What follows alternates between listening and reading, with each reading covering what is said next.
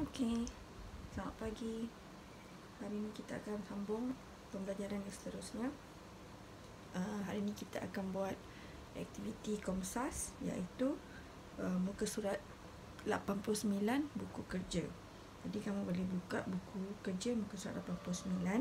Jadi ini contoh soalan pemahaman Komsas. Soalan ini ada ditanya dalam peperiksaan uh, kertas 1 bahagian B. Uh, kertas ini me, uh, soalan ini memberi 10 markah.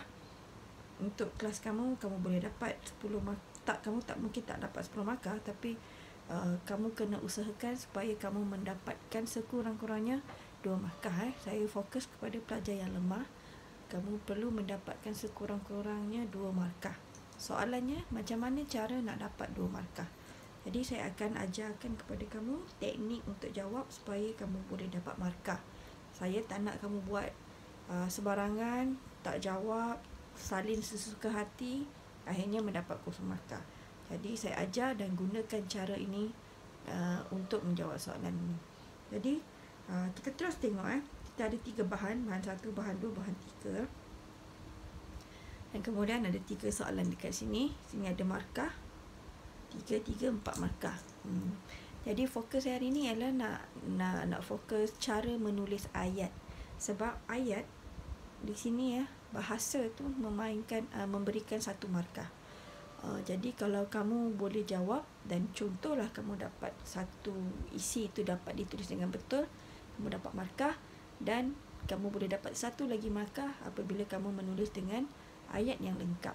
Jadi kita tak nak membazir markah kita tengok terus kepada soalan. Sebelum tak payah tengok sini terus bagi soalan eh. Ini untuk pelajar yang lemah. Berdasarkan bahan satu dan bahan dua. Maksudnya bahan satu dan bahan dua nyatakan situasi okey kata kunci dia dekat sini ialah nyatakan situasi yang dihadapi oleh penghuni penjara ketika berada di dalam sel penjara. Apa keadaan? Situasi ini bermaksud keadaan keadaan yang dihadapi ya, oleh penghuni. Maksudnya macam mana keadaan di penjara? Kita tak pernah masuk penjara kan, tapi kita selalu tengok dalam dalam TV macam mana rupa penjara. Jadi kita tengok dekat sini. Kita tengok bahan satu dan bahan dua. Kita cari satu di sini, cari satu di sini. Jadi tengok sini, ini sajak pilih wajahmu sama senja yang dulu melakar bahagia kini merayap saya membelai jejari malam dalam keterbuangannya merangkum, dalam keterasingan yang mencekam, dalam kesakitan yang membungkam. Tanpa pasir pantai atau silat angin, rentetan susu bibir palang, besi dingin itu menjerut besar berteleku dalam hening. Ini situasi dia di dalam penjara. Yang mana yang menunjukkan situasi? Yang pertama ialah ini. Terbuang. Terasing. Sakit. Okey. Jadi ini isi untuk bahan satu. Jadi dia punya uh, bahan satu ni tadi nombor satu eh berasa terbuang. Kemudian koma terasing dan sakit. Itu depan nombor satu untuk bahan satu. Untuk bahan dua pula, apa situasi dalam bahan dua? Jadi dia kata apa? Di penjara yang berbau hapak dan busuk. Yang pertama situasi dia penjara tu bau busuk. Yang kedua sempit. Ha, kemudian apa lagi? Lantainya lembat dan dingin, banyak tiada katil. Boleh tiada katil untuk uh, tidur. Okey? Melihatkan tubuh ni maksudnya tidur. Lantai lembat dingin, tandas Ha, tak ada tandas. Okey, jadi sini kita pilih pilih satu. Okey, contohnya saya nak ambil yang ni. Bau hapak, busuk dan sempit. Jadi situasi tadi apa? Hmm, berbau hapak, koma busuk dan sempit. Itu untuk soalan nombor satu. Untuk soalan nombor dua, dia tanya berikan dua nilai. Jadi dia minta kamu cari nilai.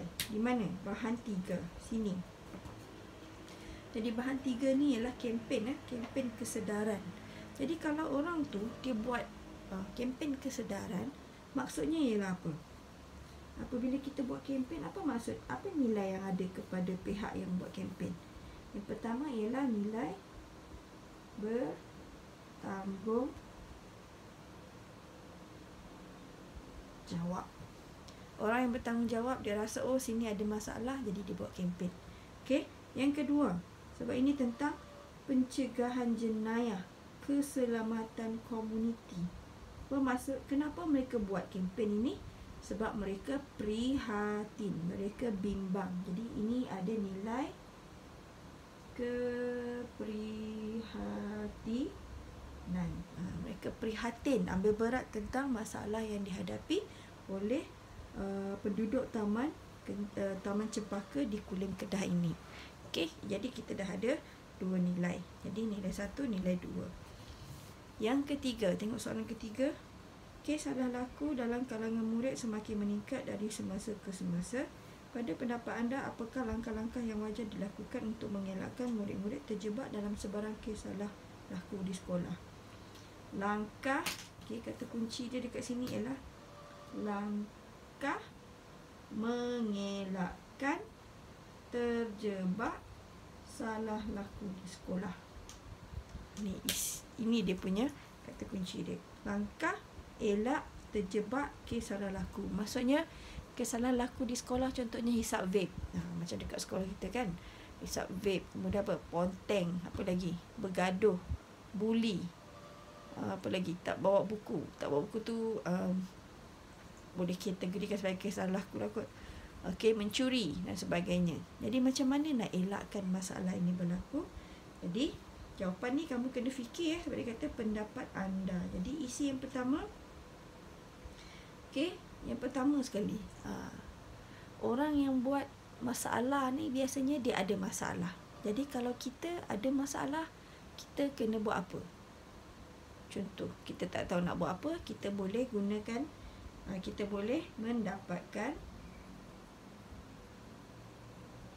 nasihat daripada guru kaunselor sekolah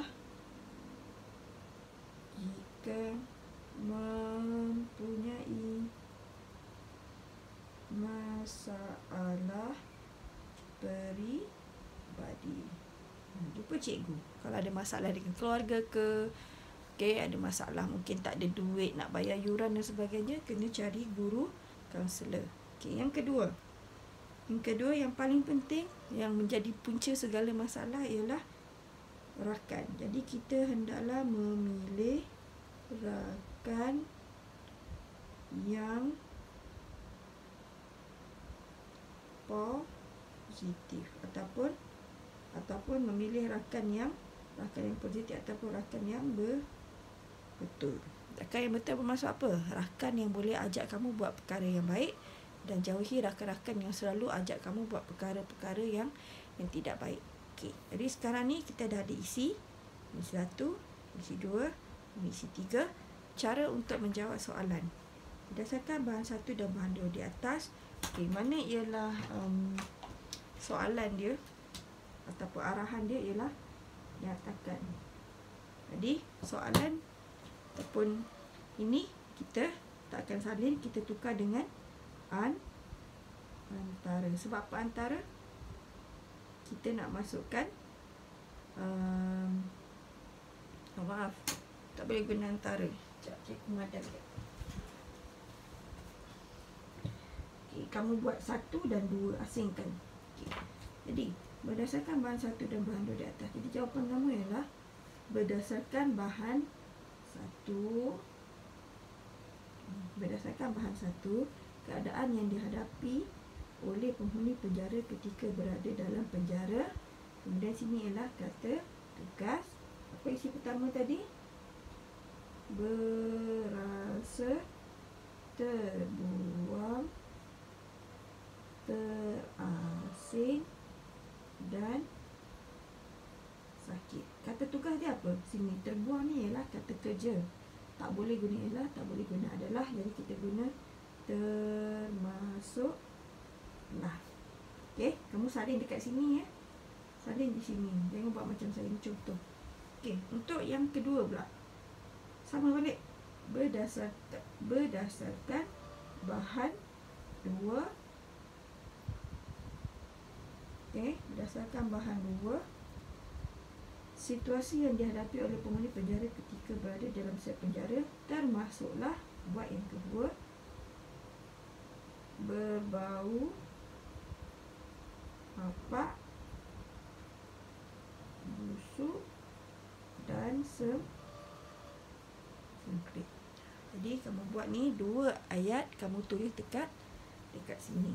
Okey, boleh dapat tiga markah kalau tidak ada kesalahan bahasa. Untuk soalan dua, berikan dua nilai yang terdapat dalam bahan tiga. Sebab dia nak minta dua, ini buang, kita letak an antara buang semua ni antara nilai yang terdapat dalam bahan tiga sebab dia cakap nilai kita letak ialah nilai apa? Full stop. Kemudian kita ambil balik ni. Nilai ke berapa sekarang? Nilai ke dua ialah nilai apa? Dekat sini mana tadi? Ah sini ada nilai. Okey kamu salin dekat mana?